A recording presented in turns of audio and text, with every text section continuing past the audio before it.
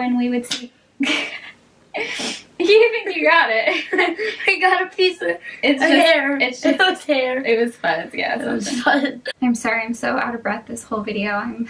I know you can't tell, but I'm pretty darn pregnant. I've got like six weeks left, so running out of lung space. Guys, welcome to my very first parenting video. I know I look very young and honestly thank you for everybody who comments on my age. It gives me a little bit of an ego boost that I feel like I need. But I actually have almost a solid decade of experience with this parenting gig. I do want to say that I myself am not a speech pathologist. I don't have a PhD. I am not a BCBA. I don't have any sort of like concrete professional experience, but I myself have taken a pretty strong recreational interest in ABA, especially for parenting. And I've read a couple great books on it, and I even took an elective course through Coursera and Yale. Um, it was like a five week program or something like that, all about parenting strategies using ABA, which is Applied Behavioral Analysis. And all of those things, the books and the program, was recommended to me by one of my best friends who does have her PhD and is a BCBA. So while I myself am not a professional, I'm also not just like pulling this out of my butt. If you are new here, I am a hairstylist by trade, so I do post industry related things on this channel occasionally, along with all of your other favorite like YouTube mom style videos, so parenting, cooking, cleaning, day in the life, things like that, pregnancy, TTC, all that good stuff. So if you're into that, I hope you would consider subscribing to us. And if this kind of video in particular is what you like to see, definitely give it a thumbs up because I really do take those into consideration. I have so many things that I'm excited to share with you about parenting. Right on cue. things that encourage desired behavior and prevent problem behavior from even happening. And in this video, I'm going to share our very favorite reward system, which is a token economy. I'll go over what it is, how to use it, how to implement it into da your daily life, and I'll even talk to Jackson a little bit and see his point of view on it. I'm not going to try and memorize all of this content and just speak freely because I don't want to mislead you in any way, so I am going to be referencing my notes quite a bit um, because I just don't want to get anything wrong. So a token economy is a point program and point programs are a way to positively reinforce desired behavior through concrete praise and tangible rewards. So how to use it. Step one, you want to select a behavior that you want to increase it's best to just start off with like one or two behaviors, but you can modify that to your children. With younger kids, definitely less is more. With older kids, at least for Jackson, I find that more is more. Otherwise, he would get kind of bored with it. Number two is choice of points. So are you going to do actual points? Are you going to do stickers? Are you going to do stars? Um, pick your points. Step three is to keep track of those points or stickers or stars.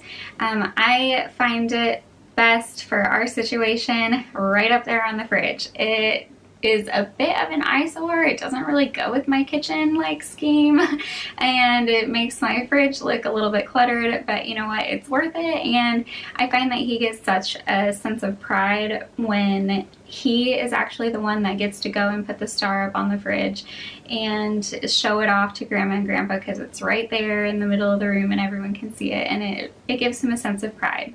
Step four, specify earnings by behavior. So how many stars does he need or she need or how many stickers or how many points before they can cash it in for their prize. And number five, the funnest part is to pick the rewards and get your kids involved in this too. I asked Jackson what he wanted his rewards to be. Um, I had him involved in the whole process and that's great for your kids to ask them if they want points or stickers or stars, what color, what shape, character stickers, etc. So how I use it for Jackson. Jackson is going to be 10 this spring, so he's I would consider an older kid. I mean, he's not quite preteen yet, um, but he's an older adolescent. Our star chart is a little bit more complicated than you would use for like younger kids. For Jackson, we have those stars that only my husband and I can give, only Derek and I can give when we see him doing something we give him a star for it. And then we also have stars for things that he can earn. So if he's working towards a goal, we don't want him to use his behaviors as he's just doing it to get points. So I wanted to have a resource in there for him for when he is working towards a goal that he can do other things in order to get there instead of just like faking politeness. You know what I mean? So um, if he's working towards a goal, we have certain tasks that he can do like make his bed, um, ask if we need anything done for us. That's called a good deed star.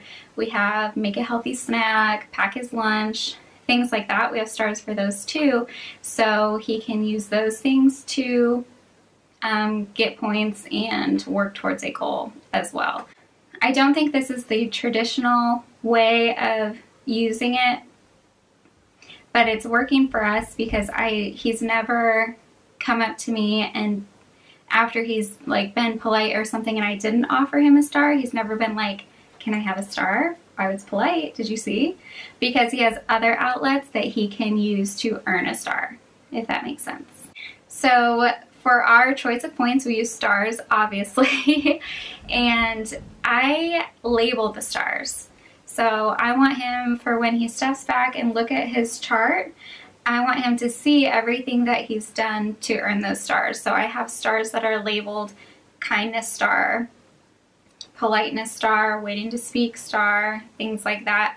Um, because if you were to do all of these behaviors and then stand back and look and just see blank stars, it would be hard to make the connection between, oh my gosh, I got all of those stars because I was um, polite, because I was kind, because I waited my turn, things like that. If you're only doing focusing on one behavior, then you don't really need to do that because all the stars mean the same thing. But since we don't want Jackson to get bored, he's a little bit older, we've got lots of star things going on, I've labeled the stars so he can um, step back and see all of the ways that he got to what he has. So whenever I see Jackson doing a good behavior, I, I make it special.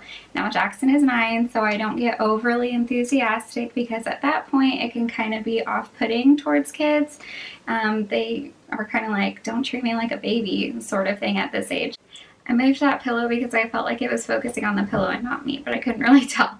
Um, so I take Jackson aside, I get down on his level, and I do make it special, just not um, super enthusiastically like you would make it special for a four-year-old. So making it special for a nine-year-old is actually a little bit more subtle. So I pull him over to me and I get down on his level and whatever he did I make sure to name it specifically.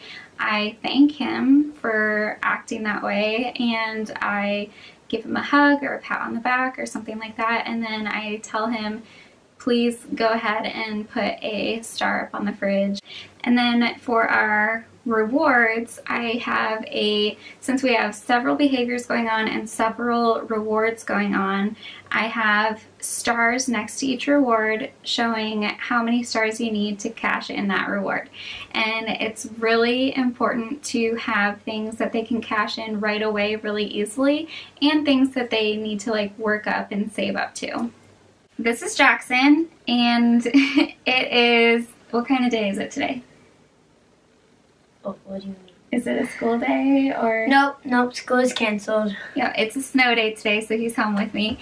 And we're just going to talk to him a little bit and get his thoughts on the token economy, star chart, reward system, whatever you want to call it. Token economy? That's the professional name for it, yeah. Oh. So, Jackson, if you, in your own words, could explain to everybody what a star chart is how you use it? Okay. So, um, the star chart is when I do something good, like I'm polite, um, I earn a politeness star.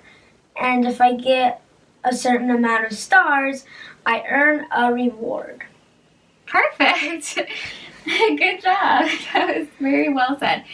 Um, do you like the star chart? Do you like using it? In fact, yes, I do. Would you be sad if we didn't use it anymore? Yes. Yeah? You would miss it? I want to keep it. Okay, so star charts are a win. Our win? Are a win. Star charts are a win. Yes. Okay, cool. Um, mommy, I might need to move for this last thing. Okay.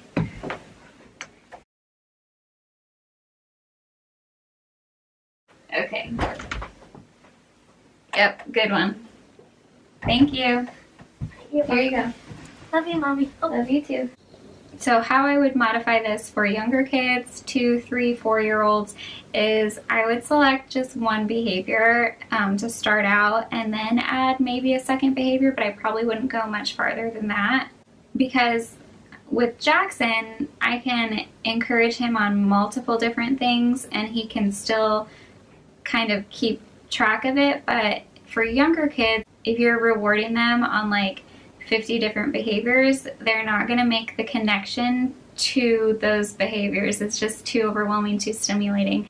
You still want to attend to all of those desired behaviors, but the one that you really want to amp up, pick that one for your reward system and make it special. Tip number two for younger kids is to make the rewards really obtainable.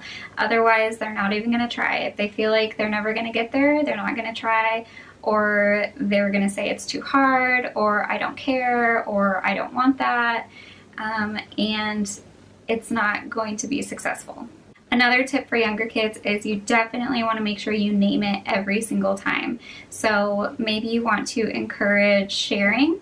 So if you were, if they were to share and you were just to say, good girl, good job, go put a star up on the fridge, they might not necessarily know what they did to earn that star. So definitely say, instead of good girl or good job, say good sharing, great sharing.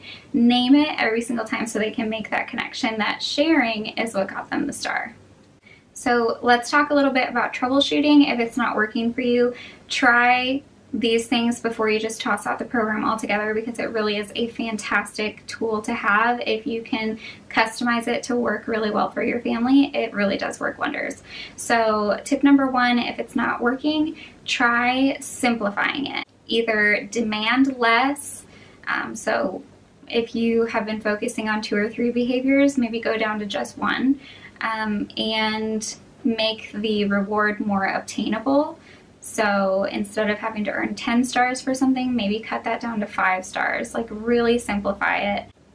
Also, you might want to up the ante. Maybe the rewards that you're offering just aren't reinforcing enough. Um, maybe maybe they're bored with the rewards. Maybe they don't want the reward anymore. Um, so switching the reward to something that is more encouraging to them, more reinforcing to them, might be all you need to do.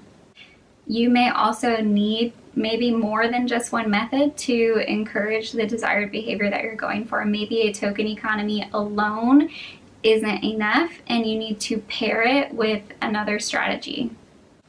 And something to keep in mind is that there are plenty of effective methods that don't work for everybody. Um, think about medicine. There are so many clinical studies and proven research and effective methods that really just don't work on certain people and you just have to find what does work for you. So once again, if I haven't said it enough, this video is simply my interpretation of all of the things that I have learned from the professionals. Um, it's what's worked for us. It's our modification of it. I am going to list all of my resources, the books I mentioned, um, and the Yale online course down below so you can hear it from the pros themselves and come to your own conclusions.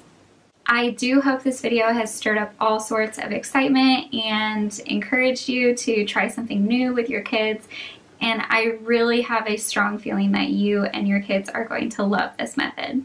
That is all the fun I have for you today. I hope you enjoyed and we'll chat later. Bye!